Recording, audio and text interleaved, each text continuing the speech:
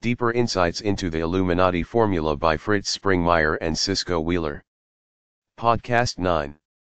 Chapter 5, Science Number 5, The Skill of Lying, The Art of Deceit. Continues. G. A History of Disney. The story of Disney's silent film career is not so much a struggle for artistic expression as it is a fight for commercial stability. During the 1920s, Walt stayed safely within the confines of comic animation as defined by others, such as the producers of Felix the Cat, Koko the Clown, and Krazy Kat. In other words, when many of the ideas were coming from just himself, Disney's movies were not any better than others. In the 1930s, Disney got some of the best talent available and he began to settle for only the best results from that talent. With the mob, and the Illuminati behind him, and driven by an indebtedness to them, Disney began to achieve outstanding results in animation. Between 1924 and 1927, Walt Disney made a series of 56 silent Alice comedies which used three different girls, six-year-old Virginia Davis, Margie Gay, and Lois Hardwick, to act as Alice who romps around in a make-believe cartoon world. These cartoons combined live action and animation. By the time the series was done, Walt Disney wanted to try working solely with animation. Margaret Winkler in New York, who married Charles Mintz, distributed Walt Disney's Alice comedies. From the beginning, children were the center of everything Walt did. The occult world that backed Walt, as well as Walt himself, believed that if they could bring out the child, that part of a person called the child by various psychologists, then they could appeal to the curiosity and feelings of the child part of adults. If it worked with adults, they could do the same with the child part in children. They knew even in the 20s and 30s what had to be accomplished in the secret Great Plan for a New World Order. The Illuminati Great Plan called for family life to be destroyed, for children to rebel against their parents, and for the world to become more violent. Children needed to immerse in images of violence so that a violent society could be created. For instance, the 1925 film Alice stage struck shows little girl Alice strapped to a log leading to a buzzsaw. They also wanted to make occultism witchcraft the common belief of the American people. The Illuminati felt they could bring in witchcraft if they appealed to the curiosity of the child in every adult. For instance, the Donald Duck cartoon Corn Chips, 1951, shows Donald harassing Chip and Dale who then get back at him by stealing a box of popcorn and spreading it all over the front yard. Now what does a cartoon like this teach kids? It teaches that stealing to repay a grudge is okay and that doing pranks is funny. In Disney's 1920 films, he shows kids cutting school, shoplifting, and playing hookah. He shows Alice running away from responsibility to have adventure. He shows prisoners escaping and hobos escaping work. His films are expression of misbehavior or being successful. What does this teach children? In the 1951 cartoon, Get Rich Quick Goofy wins money at poker and his initially angry wife who doesn't like gambling forgives him when she sees how much he's won. Goofy indicates that they can have a spending spree by telling his wife, easy come, easy go. The gambling spirit is a very powerful spirit that the Illuminati want to instill in this nation. How can a cartoon that promotes gambling be wholesome for children? LT. Colonel Dave Grossman is a military expert on how to condition people so that they will kill. He writes in his superb book on killing, Boston MS, Little Brown Co., 1996, that the same process that the government has used to condition soldiers to kill, is being used by the entertainment industry. The only major difference is that in the military, men are taught to kill only on command, while our children are being taught to kill whenever they want to via TV's entertainment. Grossman states on page 308, that the conditioning to kill begins with cartoons. It begins innocently with cartoons and then goes on to the countless acts of violence depicted on TV as the child grows up. Then the parents, through neglect or conscious decision, begin to permit the child to watch movies rated R due to vivid depictions of knives penetrating and protruding from bodies, long shots of blood spurting from severed limbs, and bullets ripping into bodies and exploding out the back in showers of blood and brains. While children see horrible deaths on TV, they learn to associate the suffering with entertainment, pleasure, and their favorite soft drink, their favorite candy bar, and close intimate contact with their date. See on Killing, p. 302. Disney has the appearance of wholesomeness, this appearance is quite deceptive. A close study of Disney cartoons will reveal lots of violence that could not be depicted if the violence was actually real life and not animation. It's the wholesome front which is one of the deceptions that makes Disney cartoons and films so dangerous. Yes, the image of Disney has been that its cartoons are wholesome. No wonder Illuminati mind control programmers have laughed at how naive the American public is toward Disney. The Disney Gargoyles cartoons are a television series that is pure demonology. The storyline is that a race of demons protects New York City. One of the gargoyles is even named Demona. The Illuminati programmers are amazed at how stupid the masses of people are, and how easily deceived.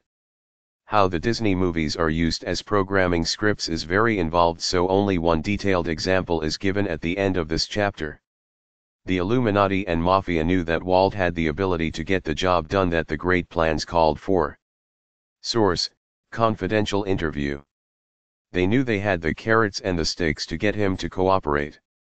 There is no doubt that Walt was a hard worker who in turn expected high standards from his employees.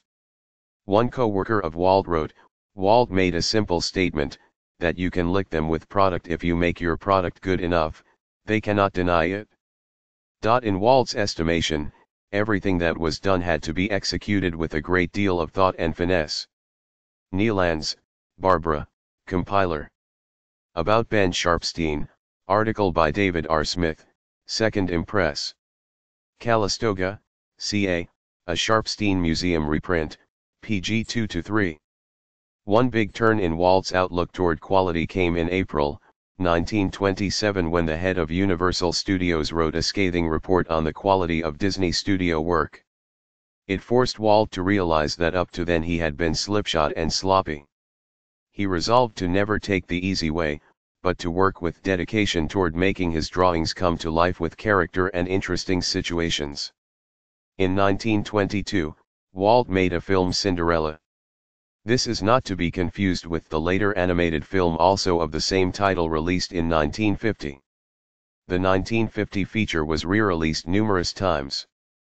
The Alice cartoons were made with a six-year-old girl playing Alice. The first six Alice comedies had extensive live-action beginnings, and then went into cartoon. A few of the 1920s Alice silent cartoon titles include Alice's Wonderland, 1923. Alice Hunting in Africa, 1924. Alice's Spooky Adventure, 1924. Alice Plays Cupid, 1925. Alice Cans the Cannibals, 1925. Alice Rattled by Rats, 1925. Alice Chops the Suey, 1925. Alice Charms the Fish, 1926. Alice the Whaler, 1927. Alice the Beech Nut, 1927. After the Alice series, Disney began a fully animated series called Oswald the Lucky Rabbit. Here we see the occult concept of luck, who hasn't heard of a lucky rabbit's foot, being subtly promoted. Disney cartoon may entertain, but they also indoctrinate while they entertain. In 1926, Walt Disney signed an agreement with Mintz and Film Booking Offices, FBO. Film booking offices were Illuminati kingpin slash mob boss Joseph Kennedy's company. For at least the next years, Disney worked under the control, auspices, of Illuminati kingpin Kennedy. All of the Disney pictures were registered by RC Pictures Corp., one of the parent companies of Kennedy's FBO. Joseph Kennedy also controlled the RKO studio which worked together with the other big studios to ensure that no small studio would develop as a competitor. By 1937, all the big studios 20 THCENT, Paramount, MGM, Warner Brothers, Cohn's Columbia Pictures and Kennedy's RKO were allowing the mob to skim money from them. Kennedy's RKO gave Walt a guarantee in 1937 that they distribute Snow White sight unseen. Walt Disney had their films distributed by Kennedy's RKO from 1936 to 1956. Another little known detail is that in 1926, Leon Schlesinger, future producer at Warner Brothers, subcontracted animation jobs to Disney. One of these was Universal's The Silent Flyer. In 1928, Steamboat Willie debuted. This was an animated cartoon with a soundtrack starring a mouse later named Mickey Mouse. It had taken lots of hard work and determination on Walt's part, but it was the first cartoon with a soundtrack and it was successful. In 1929, the cartoon The Haunted House came out. The story is, Mickey Mouse is forced by a storm into a house full of ghosts who force him to contribute to their spooky musicale. In 1930, Harry Cohn, one of the most ruthless and unsavory characters controlling a studio bailed Walt Disney out of Walt's trouble with con artist Pat Powers who was stealing Disney's money. Harry Cohn was a former New York pool hustler and gambler who was brought in by Chicago investors to front their investments in Columbia Pictures, and run their studio. He wore a sapphire ring that the Chicago Mafia man Johnny Rosselli gave him. Rosselli later became a rogue asset of the CIA, and testified before Congress, the Church Committee on Assassinations in 74, about a CIA contract which was handed him. Rosselli worked for the Mafia Council of Nine, which including Anthony Accardo and Sam Giancana. Harry Cohn was said by some to be the most hated man in Hollywood. His money gave him the power of an emperor. His money got him the best female flesh available which he used for his pleasure. He always seemed to arrive from Las Vegas with rolls of new greenbacks, which had close associates wondering where all the money came from that he always got when he made trips to Las Vegas. In 1931, Walt went into a long suicidal depression that lasted into 1932. In the summer of 1932, he took a vacation to try and recover from his nervous breakdown. By 1932, Ingersoll had marketed its first edition of Mickey Mouse watches. Disney products have served as a model of consumerism for the world. Disney watches have been made continuously since 1932 or 33. In 1932, 80 major U.S. corporations, such as General Foods, RCA and National Dairy, began to market Disney products. Ed Sullivan began regularly running stories that bragged about Disney's work. Freemason Dr. Rufus B. von Kleinsmid, president of the University of So. Cal, gave Disney an award from Parents magazine for Walt's work with children. In 1932, several artists who had worked for William Randolph Hearst came to work for Disney. In 1932, Roy switched Disney from Columbia to United Artists. United Artists agreed to front Disney $15,000 for each cartoon. In the 1930s, the Illuminati Bank of America financed Walt Disney. Years before, the Bank of America had been quietly created from Bank of Italy which was controlled by the same oligarchy that has run the Knights of Malta and Renaissance Venice. The Bank of Italy was a powerful bank in Hollywood's first years. Its representatives AP and Italo Giannini financed Walt during the 1920s with petty cash to keep him going, but not enough to get him out of financial bondage.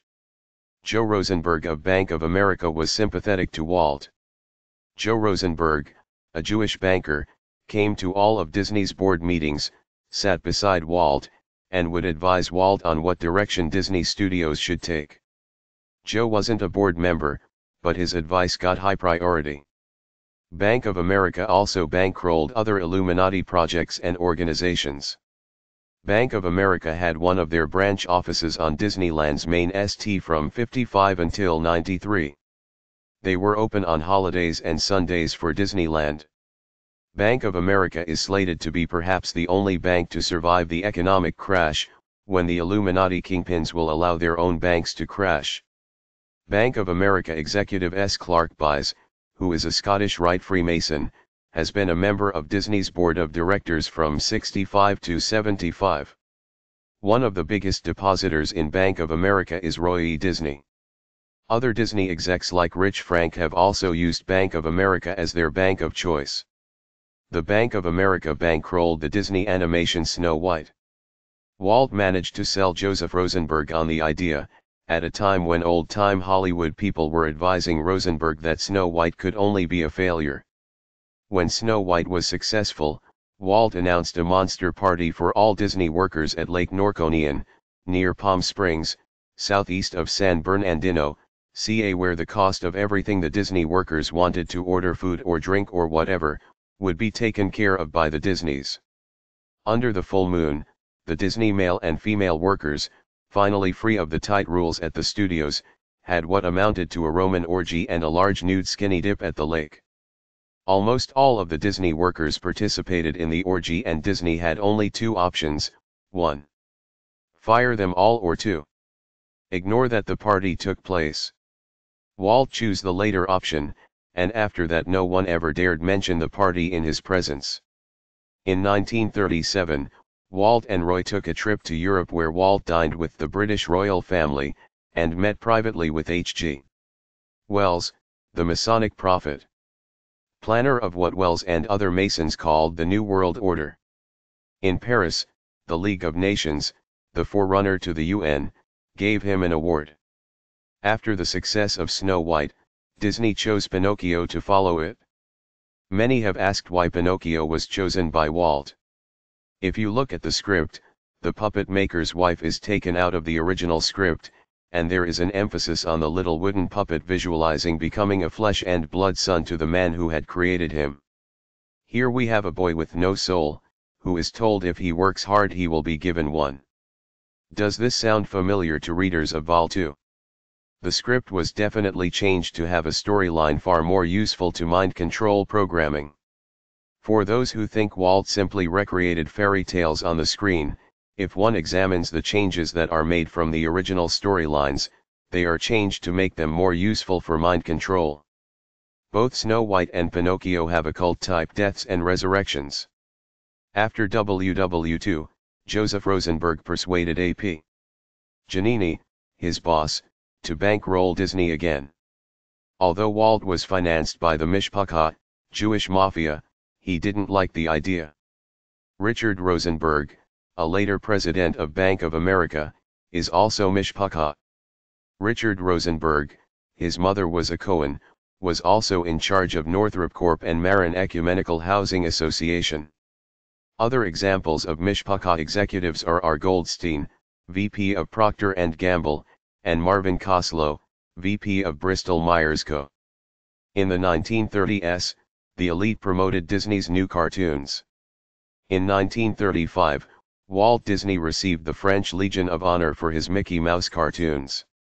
Also in 1935, the Queen of England, who readers of my previous articles will realize is Illuminati, involved in drug trade, and is involved with the leadership of Freemasonry, and the Duchess of York, also Illuminati, selected Mickey Mouse Ginnaware as gifts for 600 children. This was after Walt spent time with her in 1934. The League of Nations, the pre-W.W2 equivalent of the UN, took the time to vote its approval of Mickey Mouse. Finch, Christopher. The Art of Walt Disney from Mickey Mouse to the Magic Kingdom. New York, Harry N. Abrams Incorporated, 1975, p53. There is no doubt that Walt Disney had talent. There is also no doubt from the record that powerful people wanted to promote him. No doubt his 320 Masonic membership and his Demolay activities helped boost his support, and also helped Walt spend toward the occult. Let's digress just to let people in on Freemasonry's involvement with acting and motion pictures. The famous 233 Club was a Masonic chapter for actors who were Freemasons. Examples of actors who were Freemasons include John Addison, Gene Autry, Monte Blue, and Humphrey Bogart, Douglas MacLean, John Wayne. Then there is TV. DJ Dick Clark. Examples of motion picture executives who were Freemasons including Ellis G. Arnold, President of the SOC of IND Motion Picture Producers, Will H. Hays, Czar of Motion Pictures 1922-45, and President Motion Picture Producers and Distributors of Amer. Inc., Benj B. Kahane, VP and DIR Association of Motion Picture Producers Incorporated, Carl Laemmle, President University Pictures Corp. Till 36, Frank E. Mullen, Man Department of Info. RCA, VP NBC 39-46, Exec. VP NBC 46-48, David Sarnoff, CHRM of BD Radio Corp of America and father of American television, Jack M. Warner, VP of Warner Brothers, and the president and DIR of Universal Pictures since 1952. The Freemasons have made much of Walt Disney's membership in their membership sales pitches. Because the two Disney brothers' chief contributions to the production of Disney films were the finances and occasionally the ideas used in a film, it is rather misrepresentative of things that Walt Disney got all the credit for the success and quality of the Disney cartoons. He was showered with 700 awards and honors from important people, including 30 Oscars, and the Presidential Medal of Freedom, in 64. Walt Disney's great animators never got the credit they deserved, but no one should forget that Walt was the driving force that inspired and guided his workers. In 1934, Walt Disney made a cartoon about a goddess of the mystery religions named Persephone. In the cartoon entitled The Goddess of Spring, the goddess Persephone is captured by Satan as his bride and sent to the underworld, with the agreement she could return to Earth six months of each year. The Illuminati have rituals around Persephone. On December 21, 1937, Disney premiered the first full-length color cartoon movie Snow White and the Seven Dwarfs. This cartoon had taken $1.40 in Depression time money and three years to make. Over 750 artists worked on the film. Walt Disney had gotten the idea from a silent movie of Snow White which he saw as a boy in 1917. The movie has an important occult theme to it, and has been used for occult mind control programming. When the 1940s got started, Disney was in financial difficulties. At this point, Nelson Rockefeller hired his cartoon capabilities to make cartoons for South America, with the idea that South Americans would remain loyal to the American capitalist hegemony, rather than shift to rising ideologies of fascism-slash-Nazism, if they saw Walt Disney cartoons. In Rio de Janeiro, Brazil on August 24, 42, Disney did its world premiere of Saludo Amigos, a 42-minute feature about Latin America. Goofy becomes a gaucho, a parrot teaches Donald Duck to dance the samba, as well as Disney art showing various landscapes of Brazil in the film. However, the film The Three Caballeros, if it was meant to encourage South American loyalty to American capitalism, completely failed. The Three Caballeros showed a sexually lecherous Donald Duck who in bad taste tries to make it with Latin women. The mysticism was also seen as bogus. Although the Latin Americans hated the film, the establishment media's Look magazine praised it. Another reason that Rockefeller sent Walt to South America was to get him out of the way so that the government could settle the strike by Disney workers. Nelson Rockefeller was the government's coordinator of inter-American affairs, a good position considering how much of South America the Rockefellers controlled. Rockefeller told Disney that Disney couldn't beat the strikers, but that while Walt was in South America, FDR would see to it that the strike got settled. When Disney returned he submitted to the powers that were, and accepted the unions and the mafia's control. Another change for Walt Disney was that in 1940, he and Roy turned Disney into a public corporation and initially sold 755,000 shares of common stock. The Illuminati Boston firm of Kidder, Peabody & Co. were the underwriters of the studio's public stock offerings. By 1940, the Disney studio at Burbank had become a miniature city with 1,000 men and women employees and 20 buildings on a 51-acre tract of land. After the U.S. joined WW. 2, Disney productions were made a part of the American military establishment. The very next day after Pearl Harbor, the military moved onto the Disney studio, which leads this author to suspect that Disney was already part of the power establishment prior to the war breaking out. Disney made military movies slash cartoons that taught the different branches of the military many things. They made propaganda movies for the Allies. One series of films was Why We Fight. Disney made movies for the IRS to get people to pay their taxes. Some of the Disney films were top, secret, and concerned secret military weapons or secret psychological tactics of the Americans. For instance, one military film was Army Psychotherapy which taught Army men how to instill fear, and about the basics of fear. Another Army film was Prostitution and the War. Another showed a carrier pigeon evading the Germans. In 1940, Disney came out with two full-length animated cartoons, Pinocchio and Fantasia, both of which were soon used for Illuminati mind control programming. Fantasia contains Schubert's sacred Catholic music Ave Maria, which was used in a concluding segment side to side with the profane Night on Bald Mountain song, as well as six other classical pieces of orchestra music. As a feature cartoon it was a flop, but as a programming tool it was fantastic. Fantasia receives a comprehensive explanation of how it is used for mind control programming at the end of this chapter.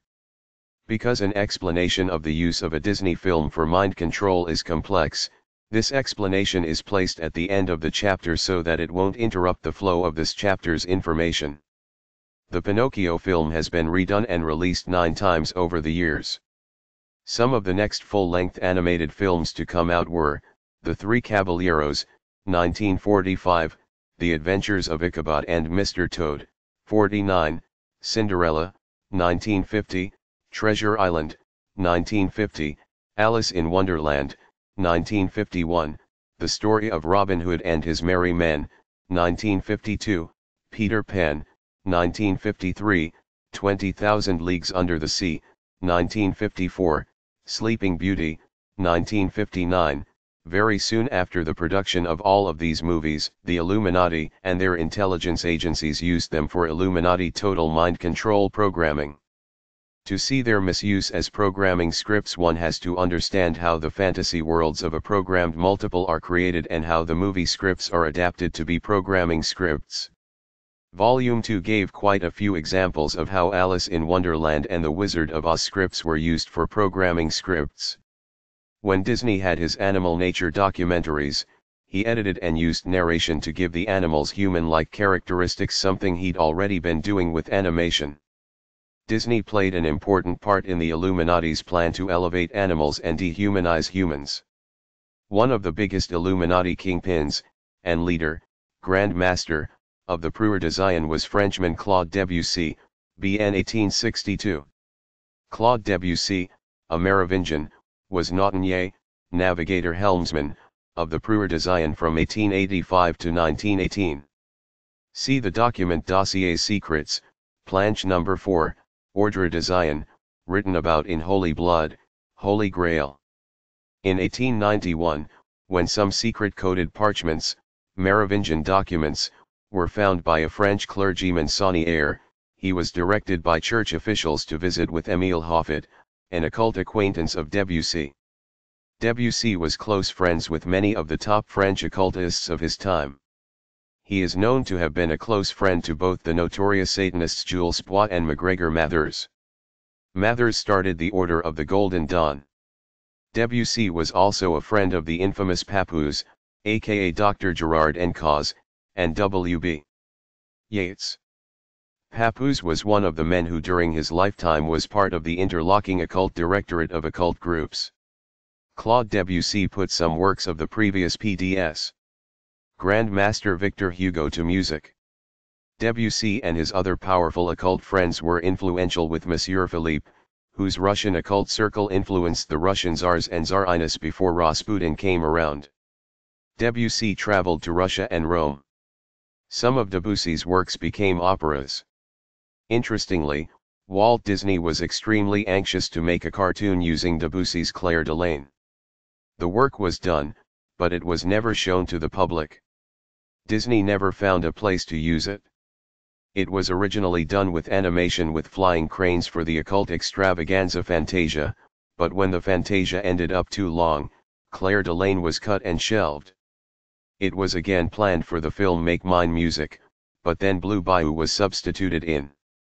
Walt used the Le Sacre du Printemps, the Rite of Spring, music for Fantasia.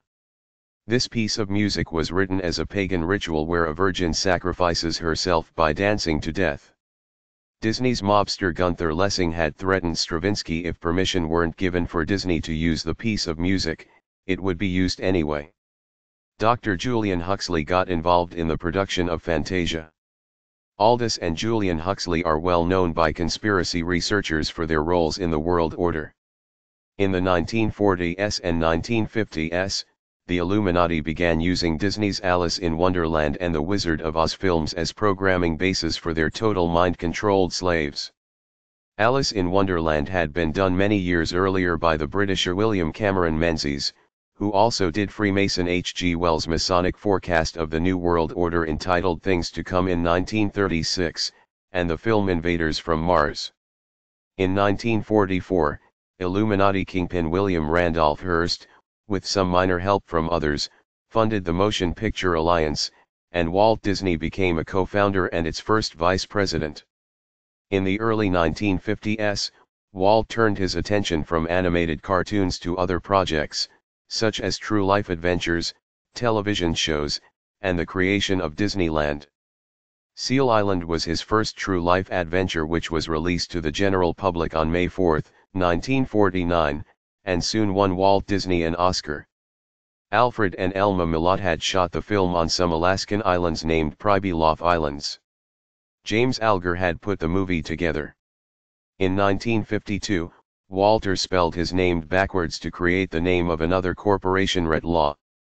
Roy and his family saw the move as an attempt to cut them out of the financial picture. In 1954, Walt Disney and ABC made an agreement. ABC would directly invest half a million US dollars as well as guarantee $4.5 million in loans for the construction of Disneyland. This made ABC one-third owner of Disneyland. In return, Walt Disney agreed to produce a regular television series for ABC. Remember too that ABC's president Leonard Goldenstein was a good friend of Ronald Reagan. On July 13, 1955, Walt and Lillian were attempting to celebrate their 30th wedding anniversary at a park and restaurant. Walt got too drunk to speak into the microphone, so he blew noisemakers into it, while Lillian rushed to pull him out of view. In 1961, Disney bought out the ABC investment, also labeled Paramount, for $7.5 million with cash and notes, and to bring this all up to date, later on July 31, 1995, Disney merged with Capital Cities ABC, with Disney in nominal control. Actually Capital Cities has long been a CIA front company, so the merger placed Disney squarely within the CIA ranks, although it had been in bed with them for the CIA's entire history. The Illuminati-controlled corporations of Coca-Cola and the drug firm Johnson & Johnson became sponsors for Disney's early TV shows. On July 3, 57, the Wall St. Journal announced that Atlas Corp got 26% interest in Walt Disney Productions. Walt Disney worked quietly with some consultants on the concepts behind Disneyland. His brother and nephew tried to prevent the project from happening. Later they requested that Walt sign over Disneyland Incorporated to Walt Disney Productions, which Walt did. Walt kept 17.25% of Disneyland Holdings and Walt Disney Productions got the rest. Walt Disney Productions then shared their portion with others. The man who helped Walt finance Disneyland was the executive vice pres of ABC Kintner. Walt Disney got the Illuminati's Stanford Research Institute to determine what would be the best site for Disneyland. A retired Navy Admiral Joe Fowler was in charge of constructing both Disneyland and Walt Disney World. How do admirals fit into the power structure? Admirals are briefed each day, and are given information concerning the secret power structure. Most men who are at that military level are Illuminati or at least well controlled by the system. Within the last few years there has been an intense effort to weed out any admirals who are not loyal to the Illuminati. Morgan Evans, who lives in Malibu, and who may be of the famous Morgan clan, was the one who created the spectacular landscapes for Disneyland, Walt Disney World, and Epcot in FL. According to CIA informants opposed to the NWO, CIA contractors were brought in to build the underground tunnels under Disney World in 1977. These contractors were sworn to secrecy, but were only informed on a need-to-know basis why the CIA was involved with an amusement park. To work on the secret tunnel project took an above top secret clearance. A major programming center was constructed under Lake Holden. Many of the lakes in Florida are named Lake So-and-so, rather than So-and-so Lake. The tunnel system was built for programming trauma-based total mind-controlled slaves. It was built of concrete with steel reinforcement. Lake Holden lies just to the northwest side of the Orlando International Airport and just south of Interstate 4. It is close to range 29E on quad maps. It is only, as the crow flies, about 12 miles from Disney World. In spite of draconian measures of secrecy, numerous lawsuits, federal and state, were filed over the years by victims trying to expose the Disney World programming tunnels, so that finally the programming center was dismantled, cleaned up and a maintenance tunnel level and a casting tunnel level were opened to the public. During its heyday, the programmers, military and intelligence men, had exotic offices underground with unusual programming equipment. It doesn't take any imagination to realize that if Disney carried mind control programming above and below ground, that they would need tight security forces to protect their secrets. Indeed, such is the case. Disney amusement parks have been granted draconian powers wherever they have been built. The Disney parks have also employed armies of spies dressed like tourists to spy on Disney's employees. If amusement park workers did anything slightly out of place, they were, and still are, reported by the spies in the camp, and they often have lost their jobs. For instance, one ex-worker, who had 10 years with Disney, was caught discussing his divorce with another worker. Since divorce doesn't fit the wholesome image that Disney wants, when the spy dressed as a tourist reported his conversation, he lost his job. Many workers have tried to tell their personal horror stories of Disney's draconian rules and their draconian private police force, but most of the time Disney has had the power to suppress and intimidate away any bad publicity. An exception to that is the recent November 4, 96 Napa Valley Register article on page 2D entitled, Critics of Disneyland Say Security Abusive Inside Magic Kingdom. UCLA law professor David Sklansky commented about Disney's police, one of the major problems we have is nobody really knows what they are doing how often they stop, interrogate, or search people. They are not subject to the same sort of regulatory controls. It's almost superfluous to tell readers that Disney's amusement park with its theme areas such as Fantasyland, Tomorrowland, and Adventureland were a great success. Everyone worldwide was curious to visit this entertainment mecca to participate in something that had a clean, wholesome image to it the entire world system pulled together to ensure that Disneyland got the image and publicity that the top 13 Illuminati families and the various syndicates wanted it to have. For 40 years they've done this. When something that everyone thinks is clean and wholesome is not attacked by the world system, that should raise eyebrows among thinking people. Homeschooling, learning to read phonetically and other wholesome activities for children have been viciously attacked and ridiculed by the established media. Why has Disney gone untouched? Disney Studios for years strove to have a very clean image. Workers had dress codes, and any activity on the part of employees that wasn't morally conservative was grounds for instant dismissal. Of course, the exceptions were well covered up, such as an employee who used hypnosis to get quite a few of the female's employees to undress until nude.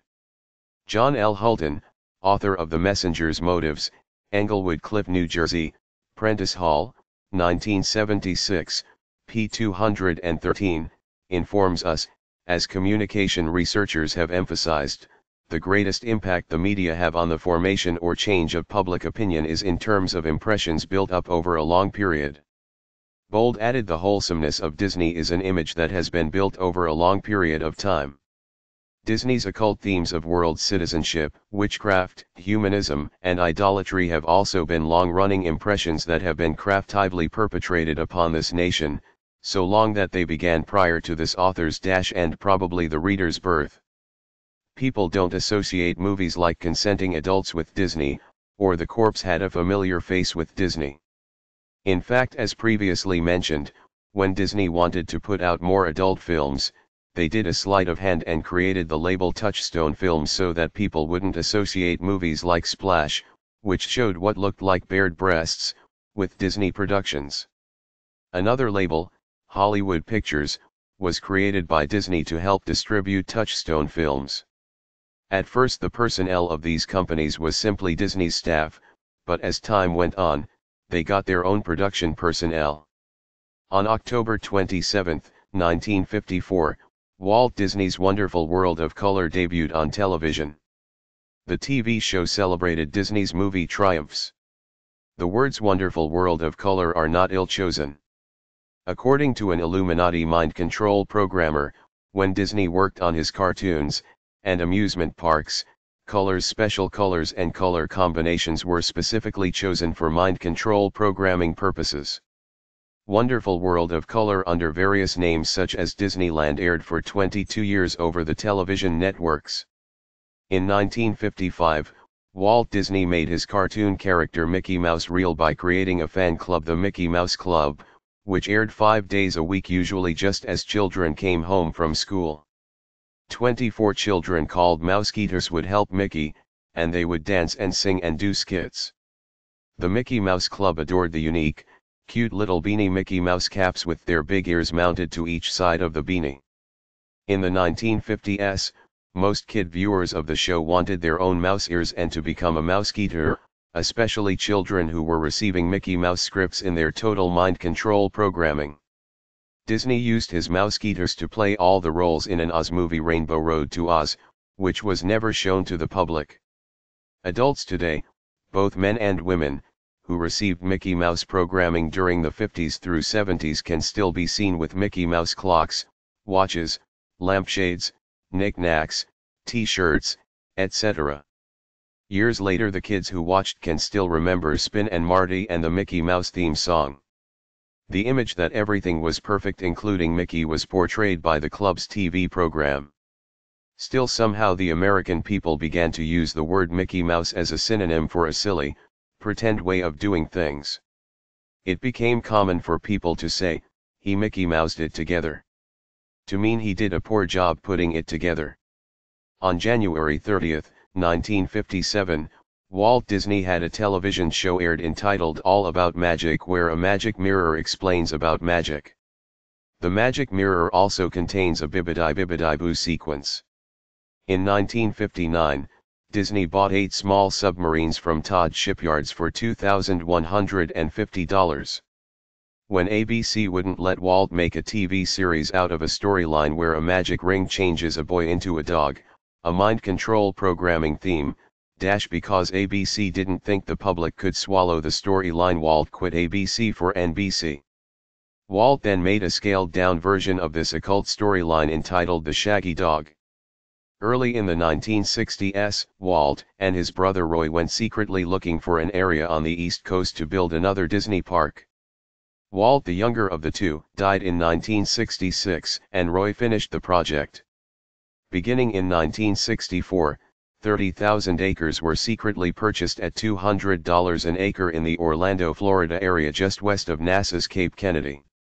Using phony names and paying cash, Disney buyers bought the land and swore the sellers to secrecy. The Magic Kingdom has been multiplying. In 1971, Walt Disney World was opened to the public. Bob Hope and others participated in a Disney special on October 29, 1971 grand opening of Walt Disney World. From the time of its opening until October 12, 1995, Disney World calculated one half billion people visited Disney World. This amusement park is in Orlando, Florida on over 27,400 acres and includes the Epcot Center, now also called simply Epcot. The Epcot Center was another dream of Walt Disney's, albeit more than slightly modified from Walt's original Epcot ideas. Epcot originally stood for Experimental Prototype Community of Tomorrow. It was to be an extension of the massive mind control being carried out at Disney World. The original Epcot city designed by Walt was to carry on its commerce, traffic, via underground roads and tunnels like the Disney theme parks. After Walt Disney died, his successors changed the proposed experimental city into another theme park simply called Epcot. It is not unusual to see crowds of over 48,000 people descend on Walt Disney World and the Epcot Center in a single day. Some visitors arrive via a monorail. Visitors can buy five-day World Hopper passes which allow them to bounce around with admission to all the sites for a seven-day period. In other words, some families stay for a week at Disney World. Hardcore visitors can get annual passports which provide unlimited use of Walt Disney World for an entire year. In reality, many visitors to Disney World begin the day enthusiastic and after a day of hot sun and waiting in long lines with large crowds for imitations of reality, the tourists are zombie-like and looking forward to getting back to their hotels. Many people have felt the rides were not nearly what they expected. Some of the rides are better than others, and some typically get comments like, it was stupid. Some of the spooky events like Snow White's Adventures, or the oversized heads of the Disney characters walking around can leave the little preschool children terrified and dazed for the rest of the day. In contrast, older children, who normally rarely show patience at home may show how much they want to go on a particular Disney ride, by waiting an hour and a half in the hot sun for a ride. Alien Encounter is a Walt Disneyland feature that invites tourists in for a demonstration of interplanetary teleportation. When the demonstration as planned breaks down an alien with the social traits appears among the audience and terrorizes the audience. A cute creature is hideously fried, deformed, and then vomited into space screaming. Here are some comments from visitors to this Walt Disneyland attraction. Alien Encounter, is one of those rides I can say I've seen and that I have no intention of ever doing again. In fact, parents who take children under the age of 6 should be brought up on child abuse. Woman, from MI. Alien Encounter was the worst experience for my 10-year-old, and almost every child in there. It starts out cute enough during the pre-show, but the actual show is a disaster for children. My daughter screamed and cried in terror throughout it. I thought the Disney warnings were vague and inaccurate. When we left, there wasn't one child with dry eyes, even sturdy-looking 12-year-old boys were crying. I think an age requirement of 13 or 14 is more appropriate. I talked to a few adults and we even agreed that the special effects were extremely unpleasant even for us. This show is not a Disney family experience it's atrocious. A mother from Phillipsburg, New Jersey. We did go to Alien Encounter, the pre-show is deceiving. It kind of lulls you into thinking this isn't so bad. When the main part came up, I admit the experience gave me the absolute heebie-jeebies. I am never doing that presentation again it was way too intense for me, and I'm now 27 years of age, dash from a family in Laurel MD.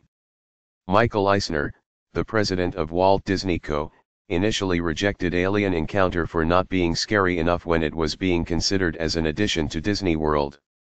One wonders what he would have liked. Snow White's Adventures, which was an attraction at Disneyland, was one of what the Disney people called dark rides. After a while a sign appeared with a witch warning people that the attraction was scary. Later in 1983, they renamed it Snow White's Scary Adventures. It might be interesting to point out that when the original Snow White and Seven Dwarfs film came out, that England forbid the film to be seen by any child under 16 unless accompanied by an adult because of the scary content of the movie. How far we have come since then. Schools in the Florida and California areas also make field trips to the Magic Kingdom that are arranged with Disney. Epcot receives tens of thousands of children this way during March, September, and October.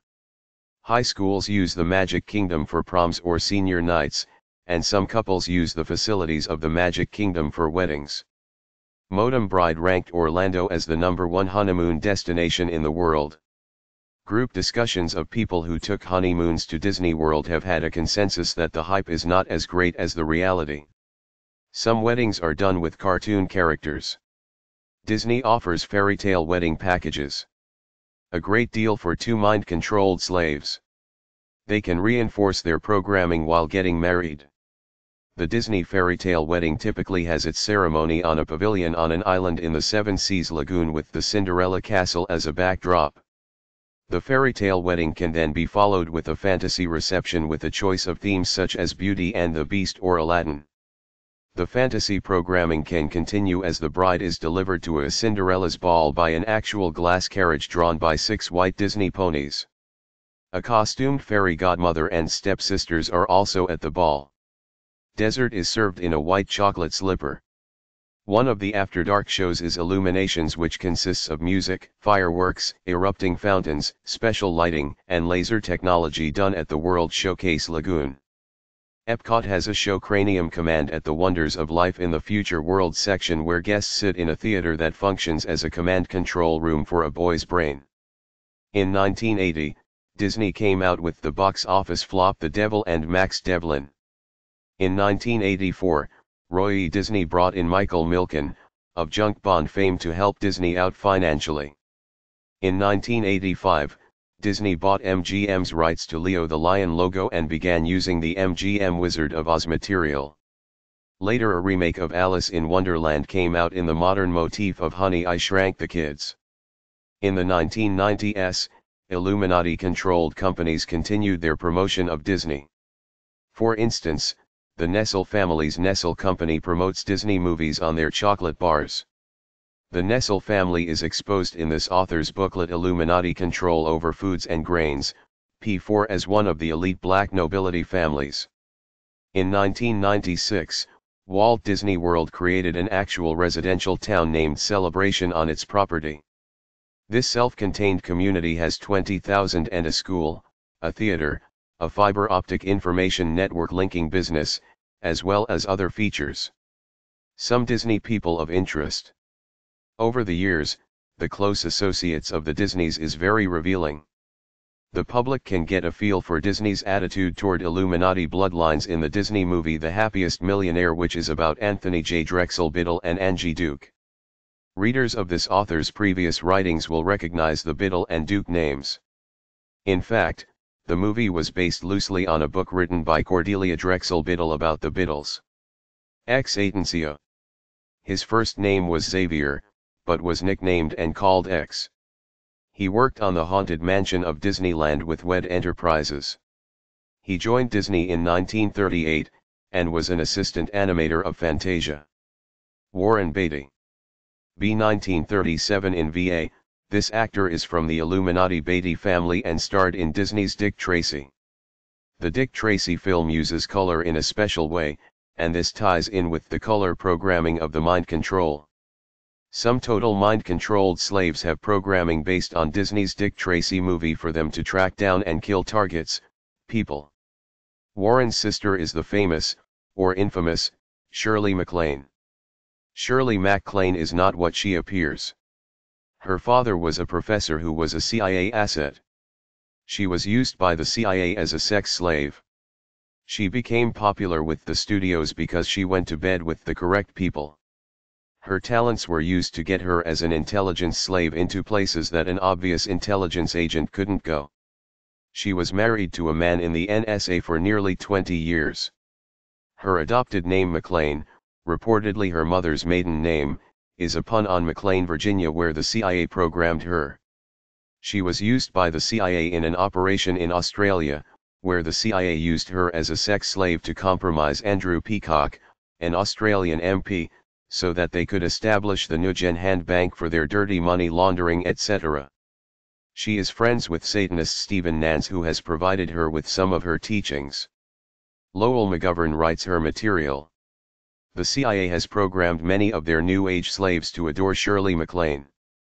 An example of this is Krista Tilton, one of their mind-controlled slaves, who revealed in an interview how she considered herself a born-again Christian who had spent most of her life in Oklahoma, but had mysteriously been drawn to Shirley MacLaine. During her life she has gotten repeated psychic urgings dash that is strong urges to do things and go places, which she doesn't understand where these urgings came from. After hypnosis, Krista drew pictures of the doctor who programmed her. Krista has had a federal agent monitor her constantly. Her husband has seen this agent, who has shown up on her doorstep and made calls to her. She names the agent John Wallace, most likely a cover name. This agent has a complete knowledge of her life, and government agents have taken photos of her during her supposedly alien abduction experiences. Krista is just one of hundreds of victims who have been programmed to adore Shirley MacLaine. Krista is mentioned here because she is one case that this author is familiar with. Warren Beatty, who peppers his speech with four-letter words was a student at the Stella Adler Theater Studio in NYC. Black, Shirley Temple. Shirley Temple Black sat on the Disney Board of Directors, 74 to 75. Her films were used for some of the early 40s and 50s programming and teaching slaves body movements slash dance. She married someone in an elite network family from San Francisco named Charles A. Black. Charles A. Black was a LT. Colonel in the Pentagon who lived at Bethesda, Maryland. Was Shirley an early example of brainstem scarring to get geniuses? Shirley's brother appears to have developed multiple sclerosis from brainstem scarring. It was Shirley Temple who co-founded the International Federation of Multiple Sclerosis Societies, and was a member of its exec committee. Shirley represented the U.S. at the UN General Assembly in 1969, belongs to the Sierra Club, and has been decorated with the Cross of Malta. Shirley has shown clues that she may be an Illuminati mind-controlled child protege.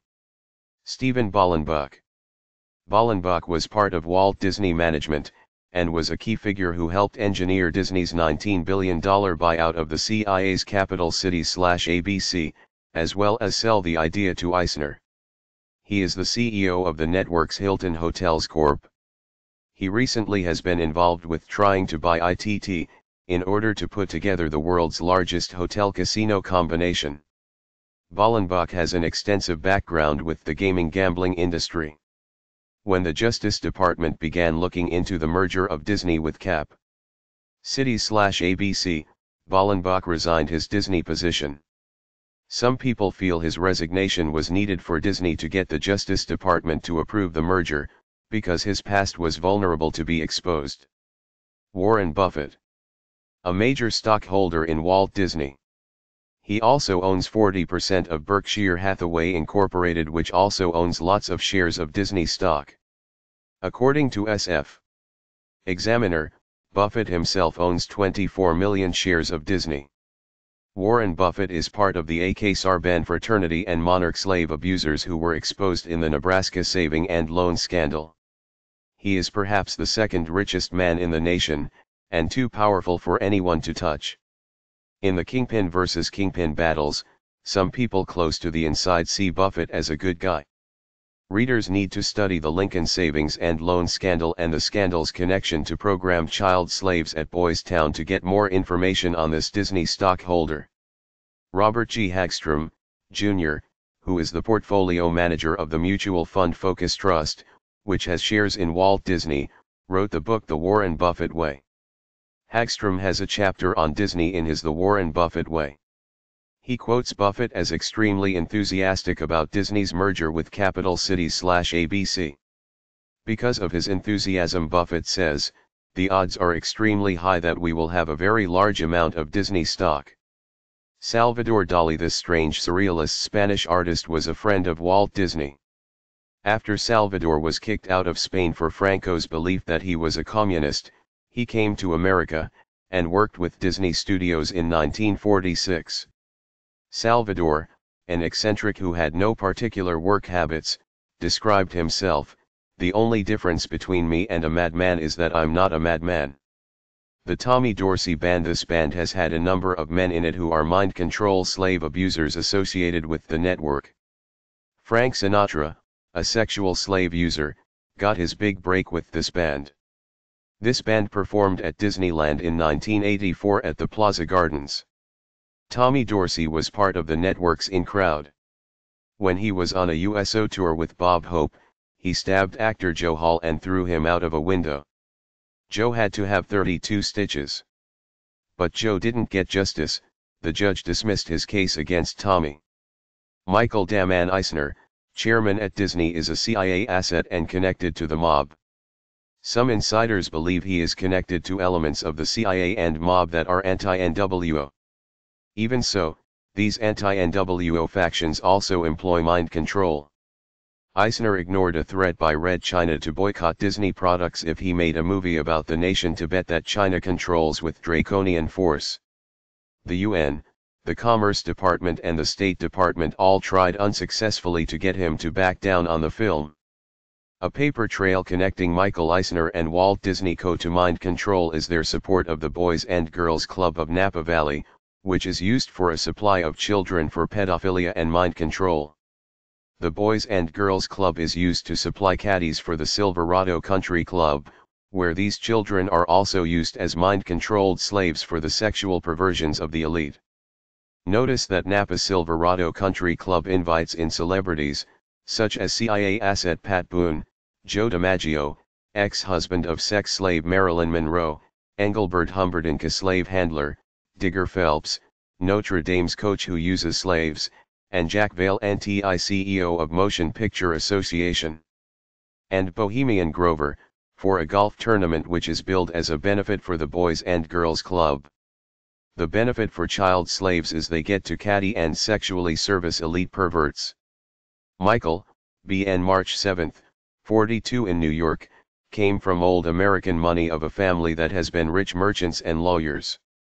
Michael grew up in luxurious Park Abbey as well as his family's country place in Bedford Hills near Mt. Kisco, New York.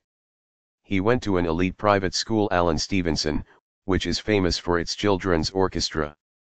At the age of 14, he then went to Lawrenceville School, which is a prep school for Princeton, whose tuition in 56 was $3,000. Eisner's class including Nye's governor's son, and other sons of powerful men, such as the son of Saudi Prince Turki al Faisal. The school is a prep school for the establishment's entertainment industry. Students are only allowed to see their parents on major holidays. Eisner was in the Periwig Club, the school's drama society. His poor scholastic performance meant that he had to go to a small liberal arts college, rather than Princeton or Harvard such as was family tradition. For instance, his grandfather had attended Phillips Exeter Academy and Harvard. His grandfather has served in many government commissions and belonged to the Harvard Club, the American Club in London as well as some yacht clubs. Between his junior and senior year in high school, Eisner was a page at NBC's HQ in the Rockefeller Center. In 1966, he landed a job in the programming department of ABC. He had an influential position. Eisner had one good break for deciding TV programming. He was 21 when the target audience was 21 years old, and when he was 35, the target age of the film industry was then 35. He has been described as having supernatural enthusiasm coupled to a lifetime quest for untested ideas. Rich H. Frank, was executive vice president with Walt Disney until his sudden resignation about a year before this was written. He worked side by side with Katzenberg and left after Katzenberg resigned in a dispute with Disney's chairman Eisner. Rich Frank was president of Walt Disney's TV media division. He acquired the estate of Van Hoffenwiggen, when Van Hoffenwiggen fled the country and vanished when Lendvest began to be exposed. Van Hoffenwiggen was a major figure involved with Lendvest Mortgage Incorporated, a drug laundering operation and drug smuggling operation operating out of Napa Valley.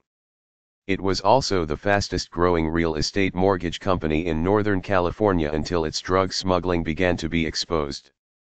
Lendvest did some tricks a la Nugan Hand Bank.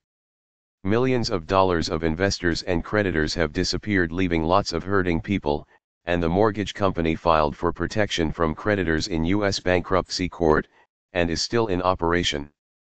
International financier Edmond Safra's private bank, the Republic National Bank of New York, launders money from the Medellin drug cartel.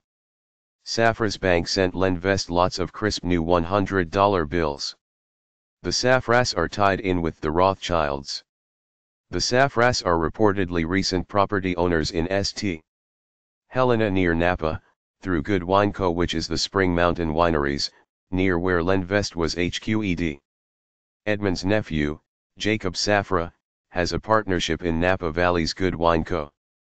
The Rothschild Citicorp gave Republic National Bank the transaction ability to issue international, world, bearer bonds, bank notes, the Luxembourg-Belgium branch of Banque Nationale de Paris issued a bearer bond that was connected the Lendvest drug running operation. In Britain, a U.S. citizen Mike Spire ran the British operation of Lendvest and Invest. Lendvest's parent was Invest which has operated in the UK, Switzerland, Saudi Arabia and Paraguay. Long story made short, Lendvest has been an international CIA mafia drug running operation, with Illuminati overtones and connections to it. With all this in mind, it is strange, that Walt Disney's president of its TV media division, Rich Frank, bought the palatial mansion of John O. Van Hoffenwiggen after Van Hoffenwiggen disappeared from the country when indictments and arrests began to be made of people connected to Lendvest. According to insiders, Rich Frank is also one of a number of Napa Valley people involved in illegal labeling of wines. Rich Frank was a key figure in Disney's programming venture with three regional Bell telephone companies, Ameritech, Bell South, and SBC Commune, coming together. Bell Telephone wanted to get into cable TV. Michael Ovitz formed a rival group of three other Bell Telephone co-s. Calvin Robinson, who tied in with Lendvest, worked with Boyce, who in turn worked for TRW Co., in Redondo Beach CA. Boyce was sentenced to 40 years for selling U.S. surveillance secrets to the Soviets. Daniel Hillis, the co-founder of a supercomputer producer Thinking Machines from MIT, is in charge of the Walt Disney Imagineering Unit. Hillis helped Disney develop a virtual reality ride at Disneyland based on the Aladdin cartoon. Jeffrey Katzenberg, has been the chairman of Disney's movie studio, is an aggressive worker, a model type A person. Ask 50 people to describe Jeffrey Katzenberg, and most will say tenacious. If Jeffrey were any more aggressive, he'd be in jail. Says the producer Dan Melnick. Harm Etz, Aljean, who makes Disney run, New York Times. February 7, 88, p. 29. Katzenberg is the father of twins, which people joke was typical of his efficiency. Katzenberg supervised the production of Star Trek. Most of his movies have been box office successes. In the 70s, Katzenberg worked for New York Mayor John Lindsay. Sanford Martin Litvack. Sanford is the executive vice president of Disney and in charge of human resources for the corporation. He is a Jewish lawyer who was educated at the Jesuits Georgetown University. Er. He is on the BD of DIR, of Bet Tzedek. Vincent Price Price has been one of the major influential occultists who has provided the world with many occult horror books and scripts. He worked for Disney some, and was the voice for Ratigan in The Great Mouse Detective. Vincent Price's good friend John Hay Whitney is an Illuminati kingpin and vice pres of the Pilgrim Society and was raised into the Illuminati through the Yale Scroll and Key fraternity. His friend Whitney likes horror movies. The Osmond Brothers Merrill Osmond's boys were discovered at Disneyland when they were visiting the site in 1962. The Disney people on Main St just happened to recognize the talent of the five boys and signed them up soon for their first professional singing contract. The Osmond boys did some television appearances for Disneyland such as Meet Me at Disneyland, and Disneyland After Dark. Considering the mind control programming done to these Osmond children, these TV shows were a cruel joke. Of the singing Osmond kids, Donnie is the next to the youngest, and his sister Marie is the youngest. Both Donnie and his sister Marie are programmed multiples who are slaves, who have been subjected to a lot of abuse. They have good front alters. Their father has made millions from drugs, porn and white slavery and is part of the Mormon Illuminati front. The Mormon front of the Illuminati has gotten a lot of good publicity off of the Osmonds. They sang for Andy Williams whose French wife was once arraigned on murder charges. Later they sang for the Satanic Network's Lawrence Welk show. Swedish accented Lawrence Welk has been part of the network. Marie Osmond has grown up, and she has adopted three of her five children in spite of her busy singing schedule which includes approximate 200 singing shows a year at places like mafia-controlled Atlantic City. In terms of occult families, adopted children are often programmed children, so this is a clue that her children have been programmed too. Michael Ovitz Ovitz was the number two man at Walt Disney for a while until near the end of 96. Michael Ovitz was a high school classmate in Van Nuys, CA with Michael Milken, later the junk bond wizard, and there are many of the same people connected to both men. When Michael Ovitz's National Mercantile Bancorp, a saving and loan, began getting into the quicksand of several lawsuits and scandals, attorney Robert Strauss represented him. Illuminati member Robert Strauss has been a lawyer connected with drug running and the mafia. He was also an FBI agent from 41 to 45 with Hoover. He is admitted to the Washington, D.C. bar. Press. Bush appointed him U.S. ambassador to Russia. He has been on the board of DIR, of the Illuminati's PepsiCo, Archer Daniels Midland, ADM, and General Instruments, which have been exposed in other writings by this author. He was also a board member of the Illuminati Mafia-run MCA. Strauss is seen in Washington, D.C. as a behind-the-scenes power broker. Strauss represented Michael Milken associate Ronald Zero. Perlman, CHRMN of Revlon, who made a $600 MIL killing off of the first Gibraltar SNL. Strauss represented MCA, which the Bronfmans took over in 1995. The book Knoedelseder, William. Stiff the true story of MCA, the music business, and the mafia. New York, HarperCollins PUB, 1993, does a good job of connecting MCA to the mob, the network, and Iran-Contra. See especially page 442. Time magazine February 24, 97 carried a page-long story about Michael Ovitz being out of a job. In the article, they reported that he was spending time on his new yacht The Illusion, visiting Joe Silver's estate in So. Carolina, visiting his property in Aspen Co., and eating lunch with investment advisor Richard Salomon of Spears, Benzak, Salomon and Farrell. Gordon Crawford of the Capital Group is quoted in the article praising Ovitz, and saying he would invest in an Ovitz venture. Ovitz is believed to be mafia by people in a place to know. He has also been known to threaten people using mafia terms, for instance, Vanity Fair, 12-96, p. 272, reports Ovitz threatening Bernie Brillstein, a producer, with his foot solders. The San Francisco Chronicle, Friday, 1-26-96, PD 20, quotes the latest issue of Columbia Journalism Review about an incident where a reporter Anita Bush who was investigating Ovitz got violently sick from the message in her food as she interviewed him. To top off it all off, Ovitz followed up her story which questioned his actions, by sending her a gift-wrapped package of message with a one-word note, enjoy. Michael Ovitz has had the clout to deal with Illuminati kingpin Edgar Bronfman head-to-head.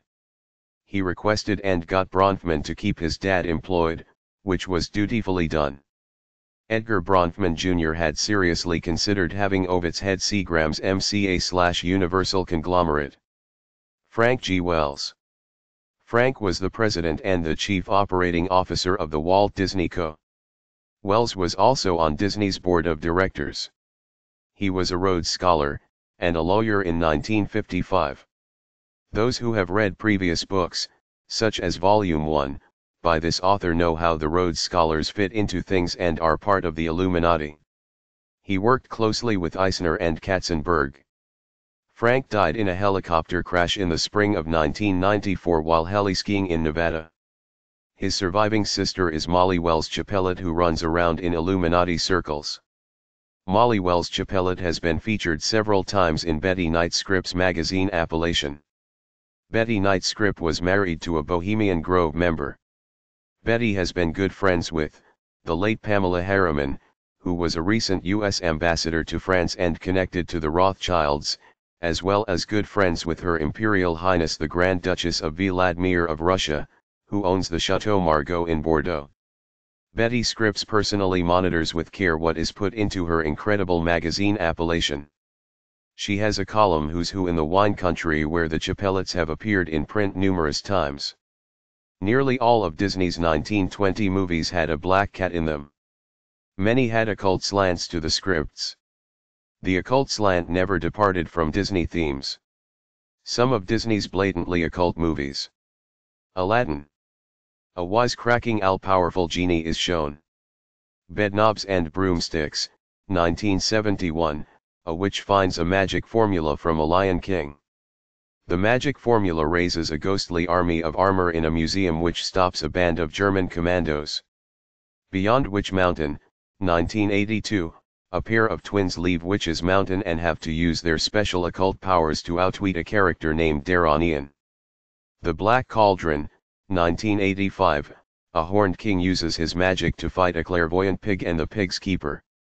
This animation cost $25 million, but was a box office failure. Bride of Boogedy, 1987, an evil spirit visits the Davis family and puts the father under a spell. Directed by Oz Scott. Child of Glass, 1978, a glass doll must be found to set a ghost free in a haunted house. The Gnome-Mobile, 1967. A multimillionaire and his grandchildren encounter gnomes. In the end the multimillionaire deeds the forest to the gnomes for eternity. Halloween Hall of Fame, 1977. Jack-o'-lanterns come to life. Halloween Treat, 1982. Cartoons about Halloween.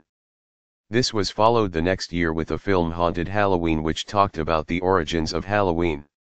Misadventures of Merlin Jones, 1964, a genius tries to help other students. He tries to also use hypnotism and ESP which backfire on him. Richest Cat in the World, 1986, a wealthy man leaves his fortune to his cat, who the relatives later discover can talk.